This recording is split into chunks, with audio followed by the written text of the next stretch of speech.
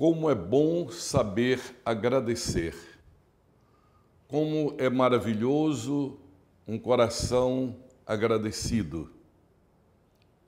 Por isso é que hoje, minhas irmãs, meus irmãos, que agora estão conosco nesse programa em tuas mãos, nós estamos celebrando a solenidade da Santíssima Trindade. A Santíssima Trindade, Pai, Filho e Espírito Santo. A ela sobe o nosso louvor, depois de termos vivido liturgicamente todo o mistério da salvação, que culminou no domingo passado com Pentecostes, o envio por parte do Pai e do Filho, o envio do Espírito Santo, nós agora reunimos todos os corações e elevamos confiantes, gratos e filialmente a Deus o nosso muito obrigado, o nosso louvor pelo dom da salvação. O Deus que nos criou é o mesmo que nos acompanha, nos santifica e nos salva. E toda obra da nossa redenção é uma obra da Santíssima Trindade. O Pai que envia o seu Filho ao mundo e determina que ele se torne homem no seio de Maria e seja então Filho de Deus feito homem, o Verbo encarnado, o Filho que é ungido pelo Espírito e age na força do Espírito para sua missão pública e que envia este mesmo Espírito para que todos os seus discípulos e discípulas possam agora viver sob o influxo do Espírito Santo.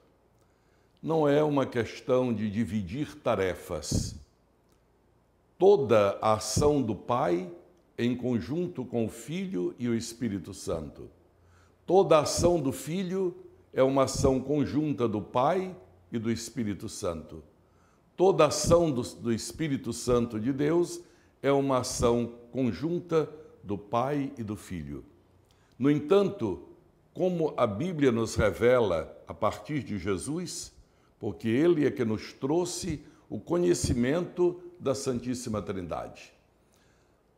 Não sei se os irmãos que estão agora me acompanhando neste programa já repararam que algumas imagens de Jesus se observa isto: dois dedos de Jesus para cima e três dedos aqui juntos significa ele é Deus e homem numa só pessoa.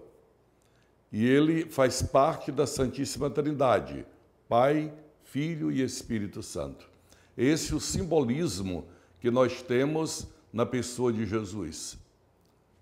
Repito, os dois dedos de Jesus para cima lembram Deus e homem.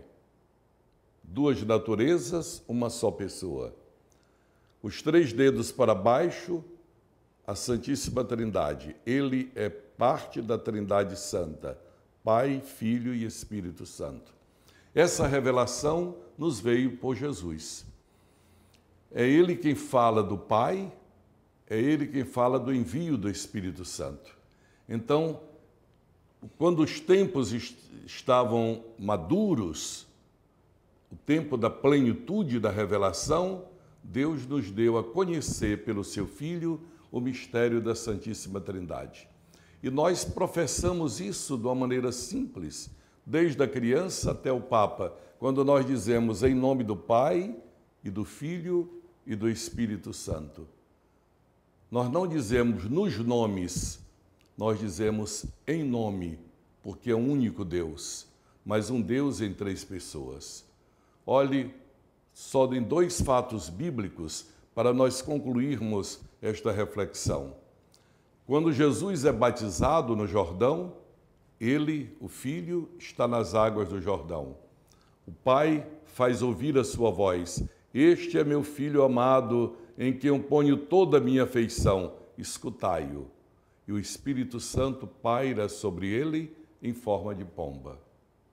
Quando Jesus vai subir aos céus na ascensão, que comemoramos há 15 dias atrás, ele diz: Ide pelo mundo inteiro, Pregai o Evangelho a toda criatura. Batizai em nome do Pai, do Filho e do Espírito Santo. Tenham todos um dia abençoado.